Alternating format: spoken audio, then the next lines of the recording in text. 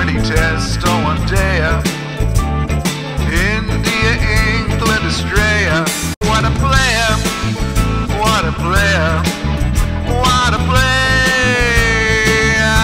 नमस्कार स्वागत है आपका वर्ड प्लेयर कंकाशन सीरीज़ में फिर से एक बार आज हम फैंटेसी टिप्स देने वाले हैं आपको सेकंड ओडीआई की हमारे साथ हमेशा की तरह विशाख और आकाश हैं। पहला जो गेम है, हमारी लड़कियों ने खेला अच्छा ठीक फाइट दिया, बट इंग्लैंड ने काफ़ी काफ़ी बेहतरीन बल्लेबाजी England basically rolled over so आशा यही है कि सेकेंड ओडीआई में हमारी परफॉर्मेंस बेहतर होगी। फैंटेसी टिप्स टिप्स तो हम लोग यूँ ही एंटरटेनमेंट के लिए देते हैं बट लेट्स सी कि ये टीम कैसे बन रही है इस बार।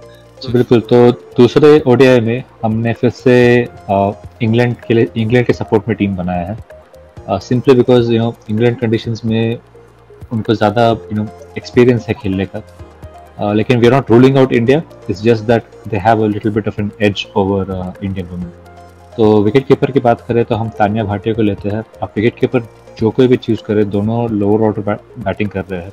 Amy Jones surprisingly lower order खेल रही है। हालाँकि वो ओपनिंग भी करती थी पास्ट में, लेकिन अभी लॉरा विनफील्ड के आने के बाद वो सिक्स में ऑलमोस्ट बैटिंग करती है तो काफ़ी हद तक नीचे बल्लेबाजी कर रही है तो हमने तानिया भाटिया को चूज़ किया है उनके ऊपर। बैटिंग की अगर बात करें तो हम टाइमी बीमोट को ले रहे हैं, बहुत बहुत ही अच्छे फॉर्म में है। आई थिंक लास्ट एक साल में उनका एवरेज तकरीबन पचास रहा है अक्रॉस फॉर्मेट्स तो इसलिए हमने उनको लिया है। लॉरा विनफील्ड कम कर रही है ओडीआई सीरीज़ में, और पहले मैच में बल्ला चला नहीं उनका लेकिन हम सोच रहे हैं कि शायद इस मैच में दोनों का अच्छा ओपनिंग पार्टनरशिप आ जाए। और मिताली राज अगेन गलती थी। प्रीवियसली हमने उनको ड्रॉप किया था। गलती सुधार रहे हम। उनको वापस ले रहे टीम में और कंसिस्टेंट ओडीआई बल्लेबाज है वो। तो हम उनको टीम में रख रहे हैं।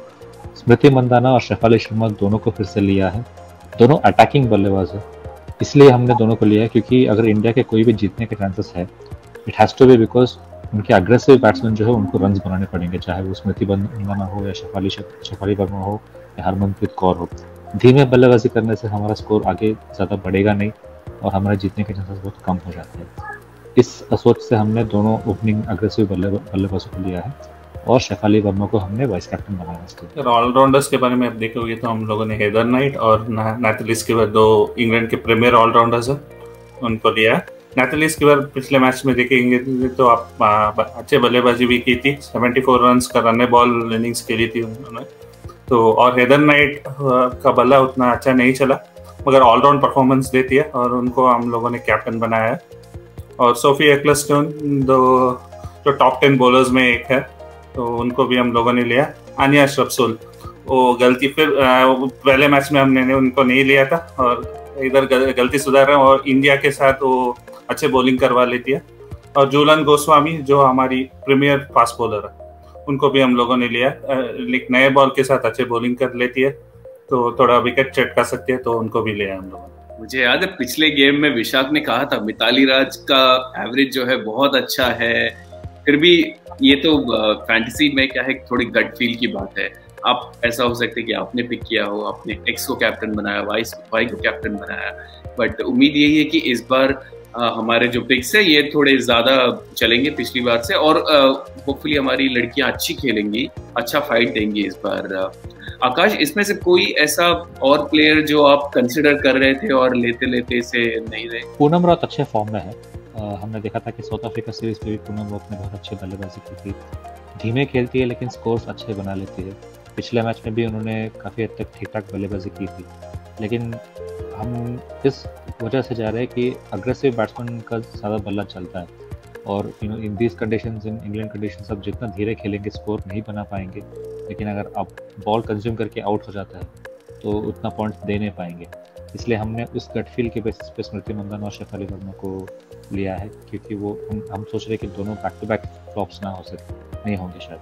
तो इस बेसिस पर हमने पूर्णवत को ड्रॉप किया और विशाख ये गेम मेरे ख्याल में टॉन्टन में खेला जा रहा है। छोटा ग्राउंड है जहाँ तक मुझे पता है और ये बैटिंग के लिए काफ़ी सूट करता है राइट हाँ छोटा टॉन्टन में खेला जा रहा है, छोटा ग्राउंड है।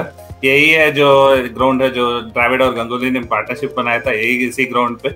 इंडिया के लिए थोड़ा अच्छा मेमोरीज रहेगा। जैसे बैटर्स है हमारे पास शेफाली वर्मा, स्मृति मंदाना, हरमनप्रीत कौर, जो अग्रेसिव बैटिंग कर लेती है, उनको थोड़ा हेल्प हो सकता है।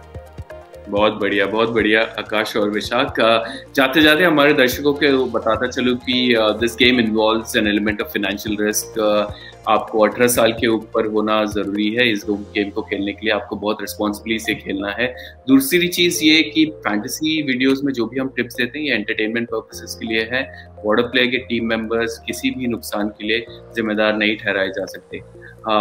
हम आशा करते हैं कि आपको ये फैंटेसी वीडियोस पसंद आ रहे होंगे। हम काफ़ी इसमें रिसर्च और डिटेल्स um, डालने की कोशिश करते हैं जिससे आपको थोड़ा अंदाज़ा लगे और आप इन्फॉर्म सिलेक्शन कर सके होपफुली आप हमारे दूसरे वीडियोस को भी चेक करेंगे और अगर हमारे इस चैनल को आपने नहीं सब्सक्राइब किया तो प्लीज़ सब्सक्राइब करें अपने फ्रेंड्स के साथ साझा करें फैमिली के साथ शेयर करें and hopefully will see you again thank you for your time Akash Vishakh again take care and will see you again care. Stay safe, everyone. Stay safe.